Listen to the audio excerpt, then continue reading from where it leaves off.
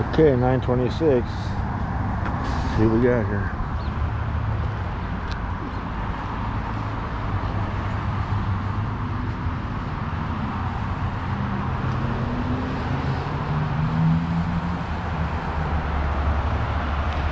You know, people, the planet is in peril. Something has to be done, and I'm doing it. I'm starting to move it to save the world. Well, I'm not. I'm just a messenger. And as you'll soon see, a conduit, really. You've heard of the missing link? We'll call him the link. Apparently, I found him. Let me tell you about it. It was just the other night. I was lying in bed. Pretend I'm lying on my back. I'm lying on your back and it'll look like I'm lying on mine. The cat Irma is lying on my chest. The cat Spot is lying on my shoulder. My beagle Bernie is lying against my side. We'd lie like that until one of us got tired of lying like that. Boy, that's a lot of lying. I hope you won't think I'm lying when you hear what I'm about to tell you. Except for the from Irma and Spot, the occasional deep sigh from my sidekick Bernie. All was quiet, very relaxing. When suddenly, I heard what sounded like the theme song to the Monkees TV show. Hello, hello, Michael. We're inside your head. You may think this is weird, but it's Davy and Peter and Mike, and we're dead. Hey, hey, it's the monkeys.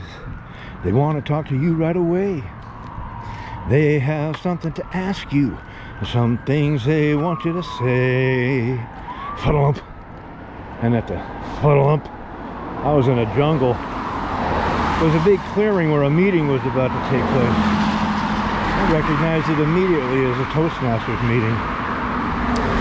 The club name on the banner was Monkey Business.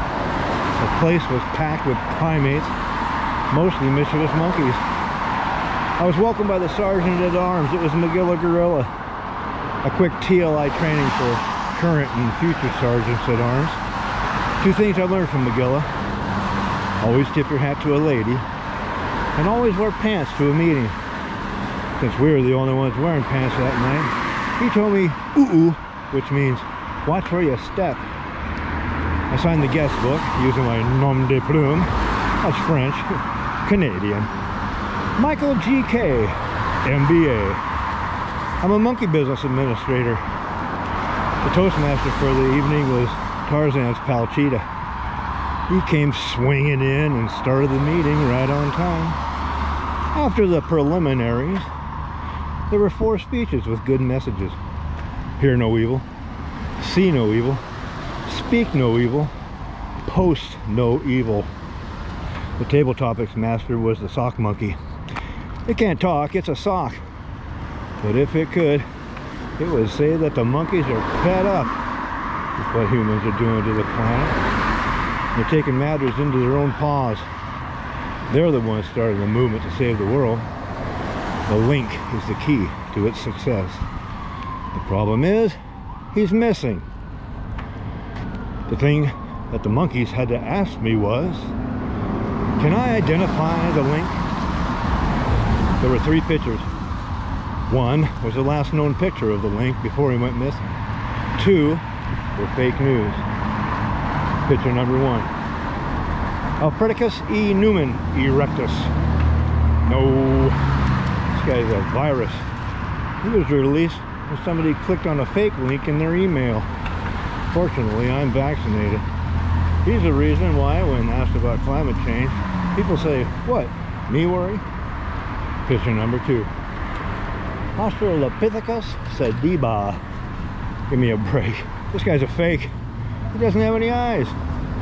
The guy I saw was wearing sunglasses, so he's got eyes. Picture number three. Magic monkey. Bingo. That's him. I'd recognize those cheap sunglasses anywhere. But if that's the last picture of him before he went missing, He must have went missing a long time ago. He's not that cute anymore. After table topics, evaluations, and snack time, if I never see another banana again, it'll be too soon. The timer, grammarian, and general evaluator gave their reports. The VP of Education was Curious George.